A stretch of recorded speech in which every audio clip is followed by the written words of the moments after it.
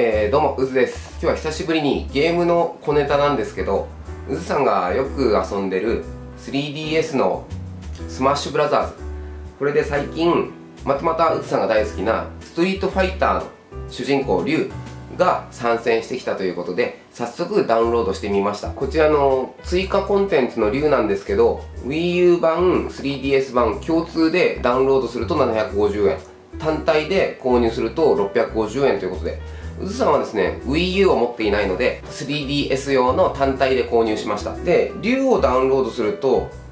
一緒にスザク城も、ステージなんですけどね、スザク城ステージっていうのも一緒についてくるので、その2つをちょっと画面お見せしようと思います。はい、じゃあちょっとこれ試してみましょうね。えー、っと、よいしょ。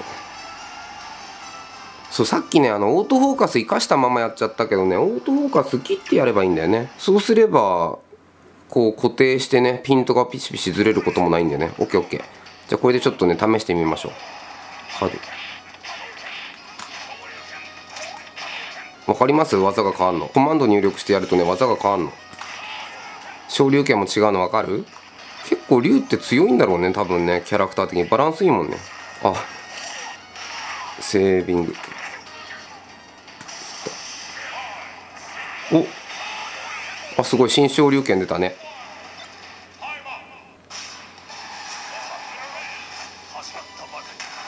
ということでなかなかリュウさんかっこいいですよね。まあそういうことであのストリートファイターのねリュウがねスマブラで参戦して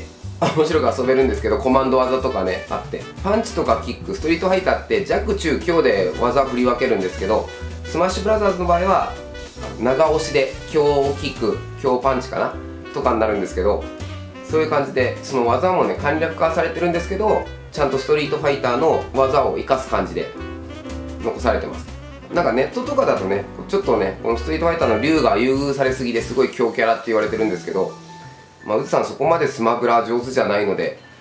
あんまり違いは分かりません。でも確かにキャラクターの作り込みは凄まじいなっていう感じはします。で実際あのストリートファイターの竜以外にもファイアーエンブレムのロイとかマザー、マザーシリーズかな？あの、リュカっていう子が参加してたりで、あの、追加のキャラクターも 結構増えてきてるみたいですから、スマッシュブラザーズお持ちの方はお気に入りのキャラを追加して遊ぶのもやっぱりいいんじゃないでしょうか。こういう遊びはね、楽しいですよね。ただまあよく言われますけど、こうフルセットで購入すると結局追加のダウンロードコンテンツで2500円とか3000円とか払わなきゃいけなくなるから、それが決していい金額なのかどうか微妙なんですけど、まあそういう遊びを広げるっていう意味合いではいいんかなということで本日は、えー、スマッシュブラザーズ、まあ、ウさんの大好きなストリートファイターのキャラクターリュウが参戦しましたっていうことをちょっと動画でお伝えしたかったのでこんな動画になりました。ではまた別の動画で。バイバイ